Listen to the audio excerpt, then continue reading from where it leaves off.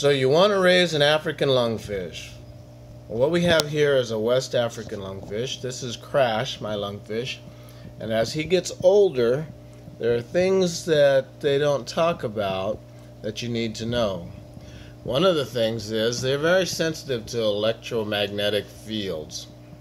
So if you have one of these these uh, magnetic algae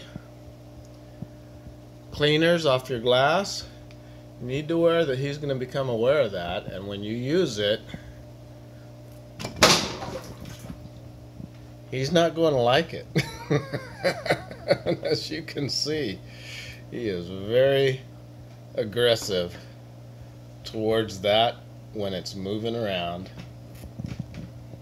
So, uh, this guy is probably, you can see he's in a 75 gallon tank and he is over half the length of the tank. Uh, so if he was to bite you, if you stuck your hand in there, just be aware he can take a chunk out of you.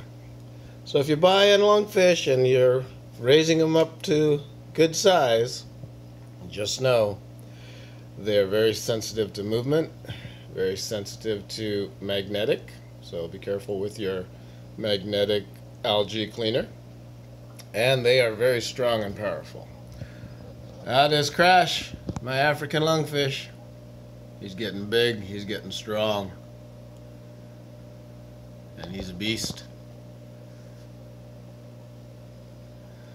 So, that is the update on Crash. Welcome to the world of tropical fish. They're not all just cute and cuddly, even though he is kind of cute in an ugly, cute way. But he's getting big, he's getting powerful, he's getting very aggressive. So, don't stick your fingers in there.